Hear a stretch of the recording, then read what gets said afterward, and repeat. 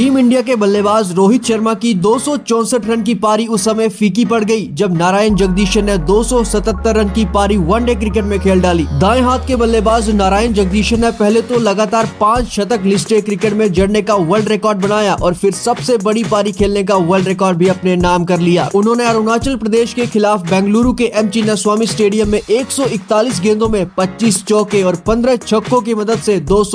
रनों की पारी खेली इतना ही नहीं जगदीशन के दोहरे शतक और साई सुदर्शन के शतक की बदौलत तमिलनाडु की टीम ने 50 ओवर में दो विकेट खोकर 506 रन बनाए लिस्ट ए क्रिकेट में एक पारी में पहली बार किसी टीम ने 500 या इससे ज्यादा रन बनाए हैं जबकि जगदीशन और सुदर्शन के बीच 416 रन की साझेदारी हुई जो वनडे क्रिकेट में सबसे बड़ी साझेदारी के रूप में दर्ज हो गयी आपको जगदीशन की ये पारी कैसी लगी कॉमेंट बॉक्स में जरूर लिखे